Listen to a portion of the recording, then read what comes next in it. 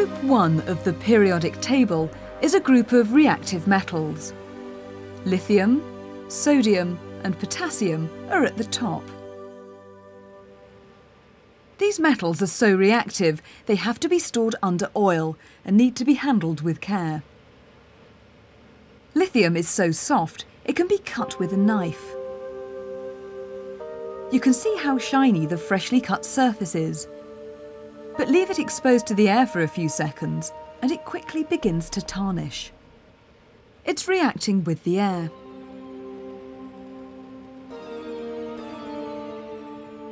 This is sodium. It's even easier to cut, and again the shiny surface soon discolours.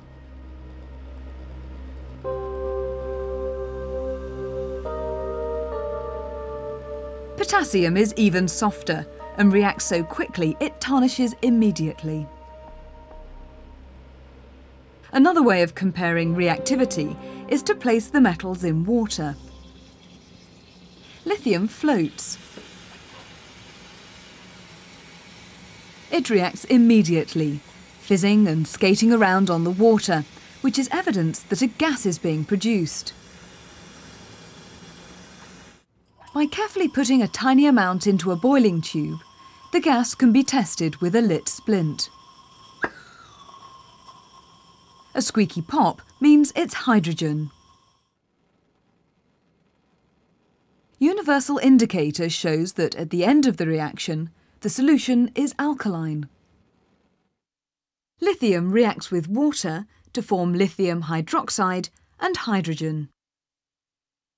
So how does sodium react? Again, it floats on the water and fizzes.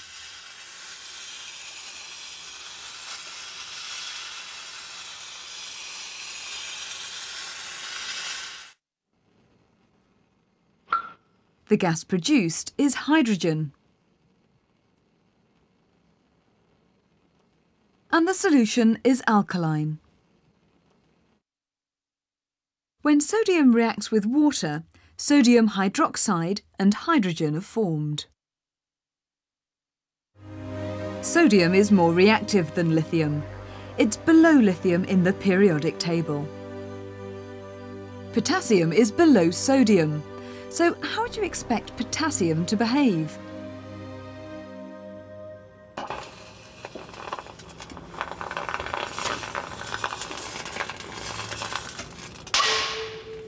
Potassium is definitely more reactive than sodium and lithium. It reacts immediately, and the hydrogen produced ignites on its own.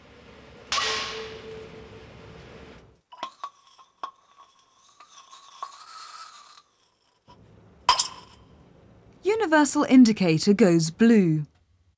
Potassium reacts with water to form potassium hydroxide and hydrogen. Rubidium and cesium are elements which lie below potassium in the periodic table. How would you expect rubidium and cesium to react with water?